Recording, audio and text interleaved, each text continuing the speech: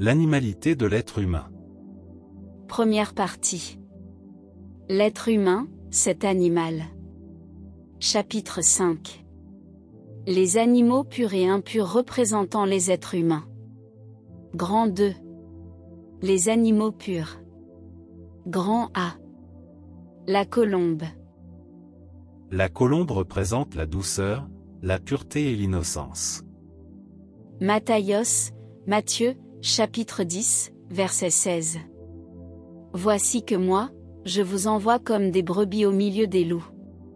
Soyez donc prudents comme des serpents, et sans mélange comme des colombes. Il est fait mention de cet oiseau dans plusieurs passages de la Bible. Par exemple, dans Béréchit, Genèse, chapitre 8, versets 1 à 14, la colombe lâchée par Noah lui annonça la fin du déluge. Elle lui avait rapporté un rameau d'olivier comme preuve de la baisse du niveau des eaux. Mais aussi dans le livre de Shirachirim où Shelomo appelle, sa fiancée, sa colombe, sa parfaite, Shirachirim, Cantique des Cantiques, chapitre 5, verset 2, chapitre 6, verset 9. Grand B.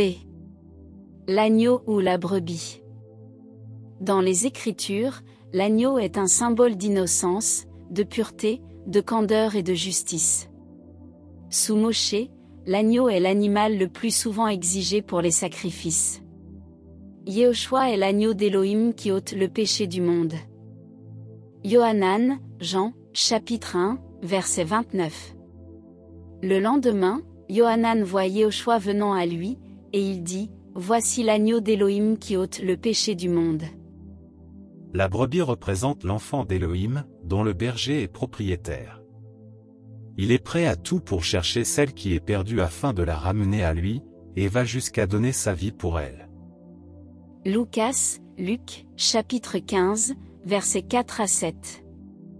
Quel homme parmi vous, s'il a cent brebis et qu'il en perd une, ne laisse pas les 99 dans le désert, pour aller à la recherche de celle qui est perdue, jusqu'à ce qu'il la trouve?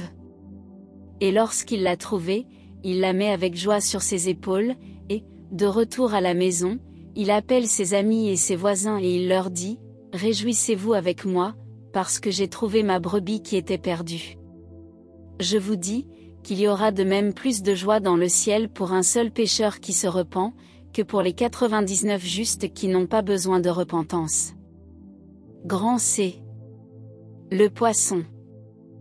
Dans la parole le poisson est un signe d'abondance et de bénédiction. Yehoshua a nourri des foules avec du poisson et du pain à plusieurs reprises. Pour les chrétiens de l'assemblée primitive, le poisson était le symbole de l'acrostigistus, qui veut dire en grec ancien, poisson. Pétros a même pêché un poisson qui avait une pièce de monnaie dans sa bouche, afin de pouvoir payer l'impôt, dit drachme, à ceux qui le réclamaient. Matthaios, Matthieu, chapitre 17, versets 24 à 27.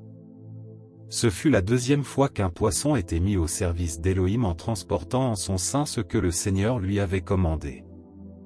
La première fois, ce fut pour emmener le prophète Yona à Ninive. Yona, Jonas, chapitre 2, versets 1 à 11.